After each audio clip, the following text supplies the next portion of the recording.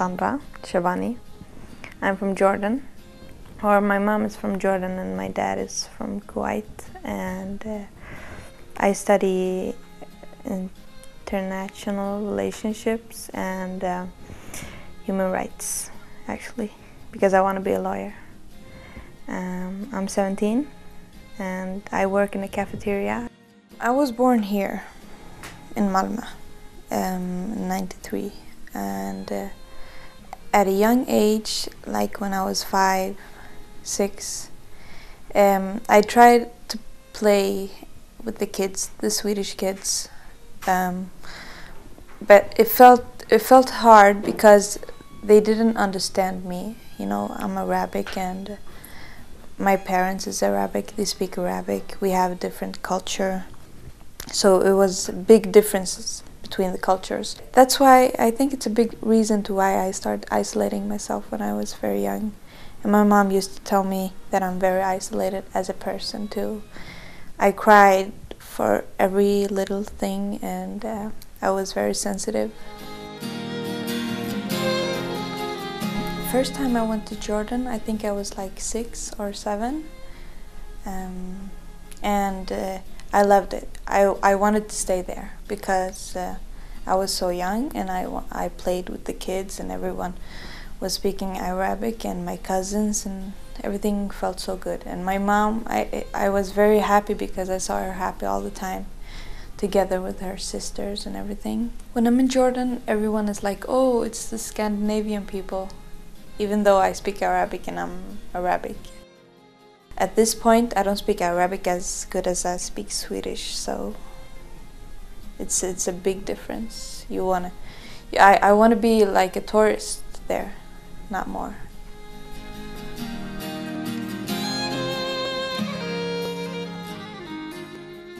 I, I, I feel like uh, when, when we go to Jordan, I love it the first two days, and then after like one or two weeks, I I get bored and I'm, I get tired and I want to go back to Sweden.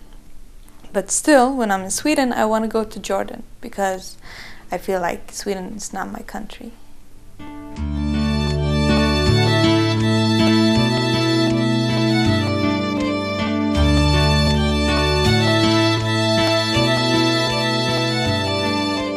At a young age, I was, uh, I was very ashamed. Yeah, I was. Um, actually um, I wasn't proud of being Arabic. I was very ashamed to say that I'm Arabic and I'm a Muslim. Um, it felt very hard because the Swedish uh, kids, um, you know, they had different rules, they had a different life, they had a different style of everything, you know. So I tried to become more like them. And after you know a year or two when I was young, I I knew it was impossible to be a Swedish kid or feel like a Swedish kid.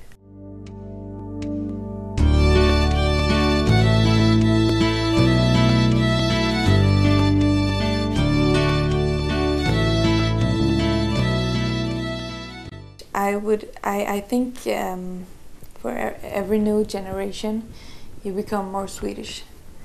I, I want to keep um, holding strong to my culture and my religion.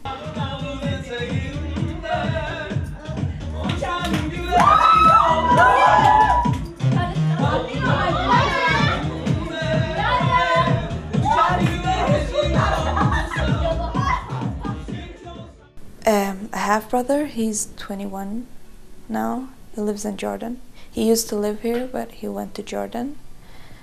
Actually, he fell in love with a girl here and they ran together to Jordan because their parents wouldn't let her marry my brother.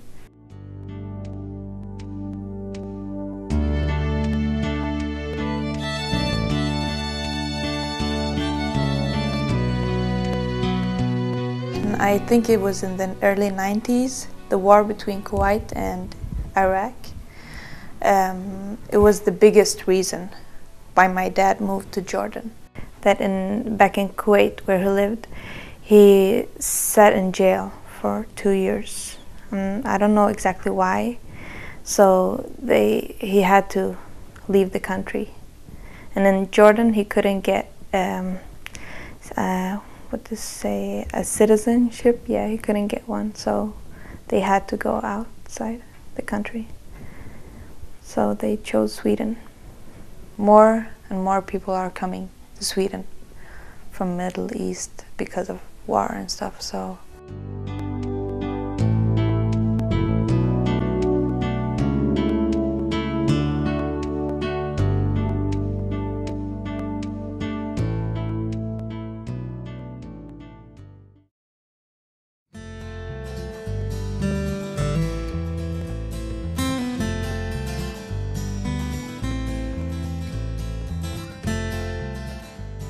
My name is Simon Persson and uh, I'm coming from China.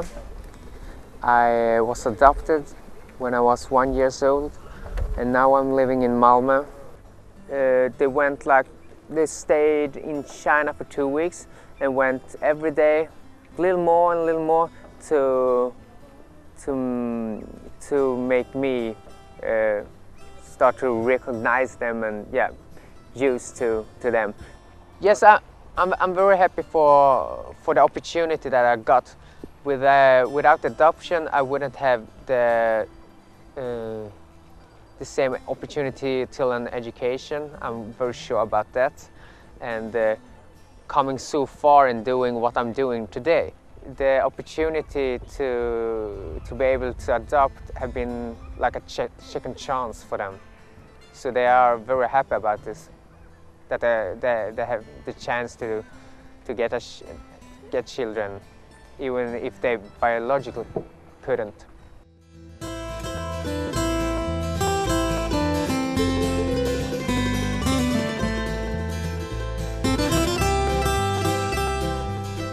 To be a parent, that's something that you, what I would like say, earn I have uh, always been very sure about my roots and where I come from. Thanks for the fact that my parents always been telling me and always been very, uh, very aware that I should know about this. I have uh, no memories uh, from my bio biological family.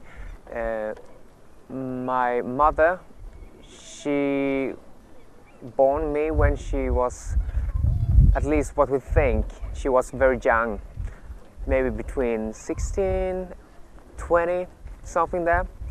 And uh, she went to the hospital, she gave birth to me, and then she left the hospital because she didn't have uh, enough resources and time to take care of me. And uh, the father, I have no idea about. I'm still, my nationality is Swedish and I'm also still Chinese today. Uh, but I feel more Swedish than Chinese. I have heard lots, lots of, uh, what do you say, bad words about me, about, yeah, all things around ra racism. And uh, yeah, it, but it has never been too much of a problem because I always have been having friends around me that kind of try to protect me.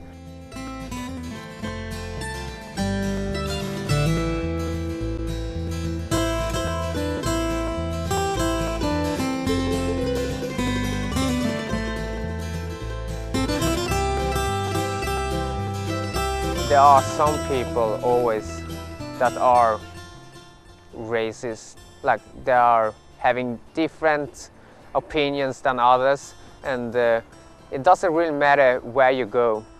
Races, you can find races in whatever country you go to. That, that's something that's, that's everywhere. So that's not something, something particular for Sweden. I wasn't too sad because I already know about the things that my parents have told me and that but I was maybe a bit angry about their behaviors. Like, why are they behaving like this? It's just very, very stupid. And uh, the other there are some of the other adopted uh, children. They went really sad and yeah, some of them were crying and so, so it wasn't, uh, yeah, it's not that pleasant, but th that's something that you have to deal with, with uh, in life.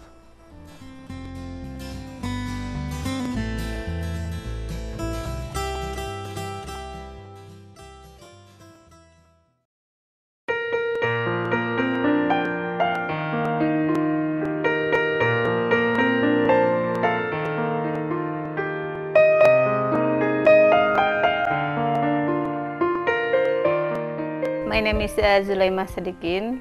I uh, I'm uh, 30 years old and I uh, was, I'm married with uh, and I have uh, two children, Sofia and Rizky. Um, I came to Sweden for uh, four years ago. Before I came to Sweden, I have job, I have family, I have anything and my mother and my father they always wish if I came to Sweden I can have a good job. And and I wish too I have I can have a good job but not it's really easy. They didn't accept my uh, graduation or certificate in Indonesia so I must to study uh, more in Sweden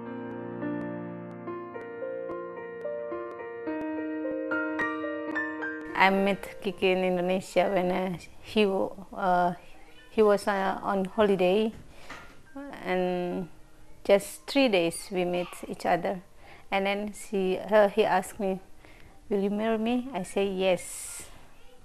That I say to Kiki, if we uh, if we can uh, move to Indonesia, I will take care of you all my life but not in Sweden. I don't know because I must take care about the children and I must uh, go to the job and I must to study.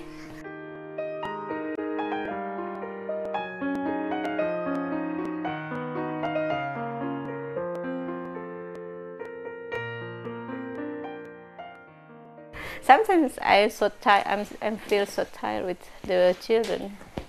And I said to Kiki, oh no, I can't stand it anymore. I said to Kiki, can we go out and or can we go to Indonesia?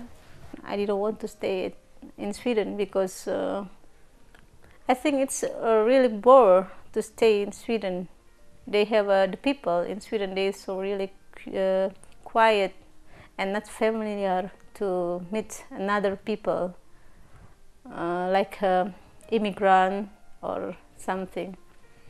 But after after one or two years, I stay in Sweden and I go back to Indonesia. I stay in Indonesia six months and I get bored in Indonesia.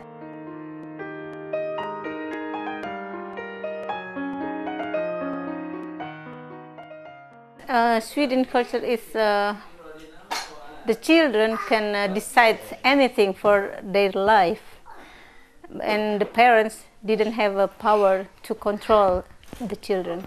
I'm not, I'm, I really not like that.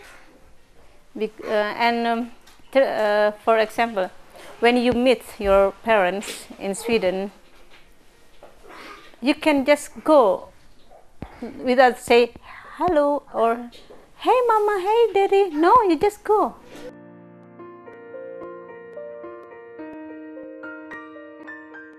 Now in Sweden, after school, if uh, when the children uh, come to, to, come from the school, come to home from the school, and they won't go out, even it's night, the night, you can you cannot to say no. You can go out.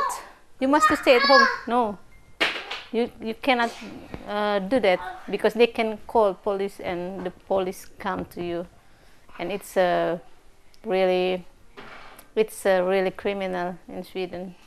Is it strange?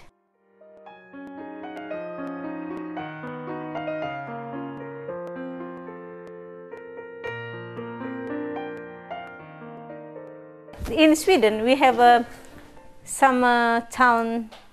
You did you. Uh, it's better not go there there because they uh, are strange people did not uh, open and uh, welcome to immigrant.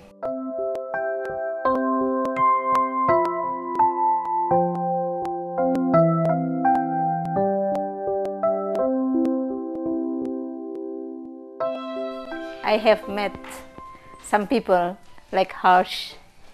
They look at me and say, no, you're not good. They're here. It's not good for you. You must go there. Like that.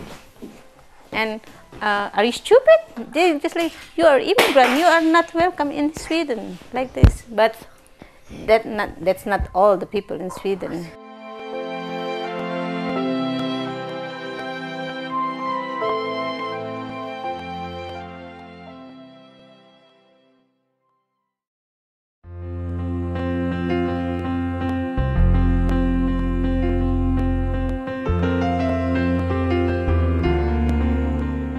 My name is Jack Dan. I'm 66 years in July and I'm from Israel in the beginning. I came to Sweden 69 uh, for the first time because I met uh, my wife uh, on a boat between Israel and Italy. It's happened what's happened and she got pregnant. I left Israel and I came to Malmo. It was so damn cold, so much snow. So I, I said to myself, no way, no way. I will stay here for a while and then back to Israel.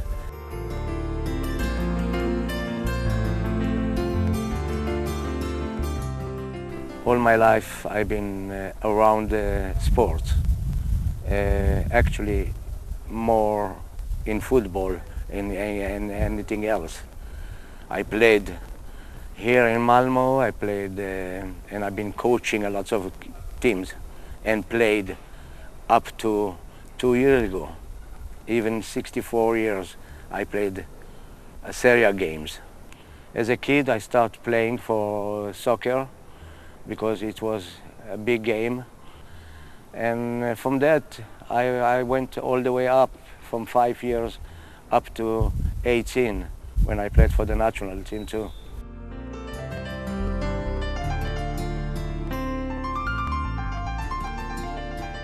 When I came to Sweden, the, the news for today, it's a yellow page.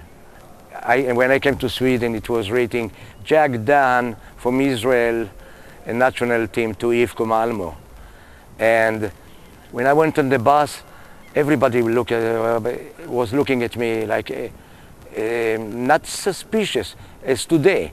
Were, it was like open arms, and they wanted to talk to me. They wanted a con contact. Not like today. Today they turn your, their, their back to you and they look at you in very badly way.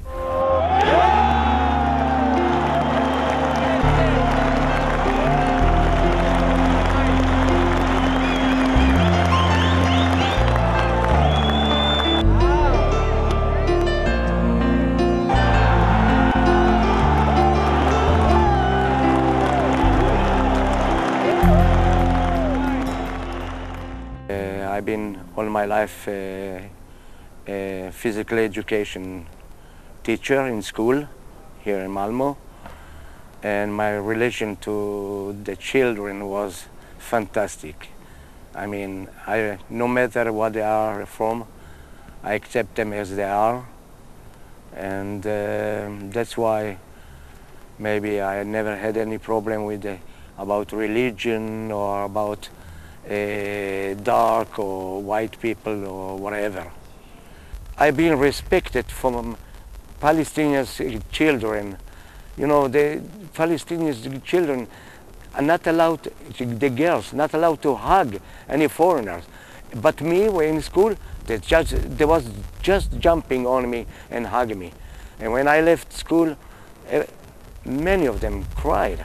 Yeah, I remember 60, uh, 56 war. Very tough, very tough war. And it was scaring. And I remember that we were, how we were putting a tape uh, windows so because uh, there was bombing and it was uh, scaring. It was not fun at all. I lost a brother when he was 18 in the war in 70. Myself, uh, 67, I've been called, uh, it was a war, six days war.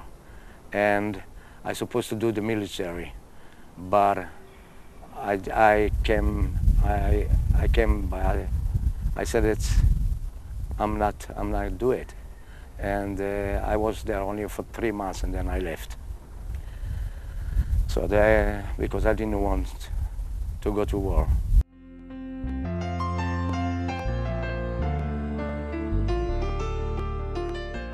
I believe that uh, the politicians think that uh, they know what they're doing. For, for us, normal human being, we don't get it. We don't get it. I don't think so.